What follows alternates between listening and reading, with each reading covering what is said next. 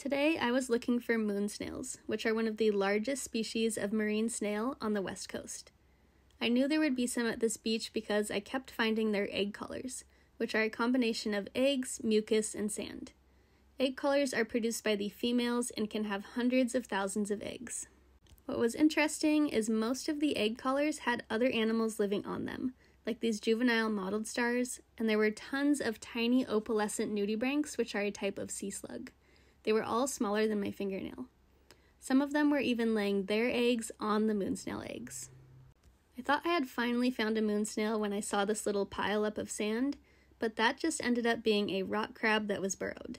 All that was sticking out were its eyes but I finally found one that had its shell slightly sticking out of the sand and gently dug it up to take a look.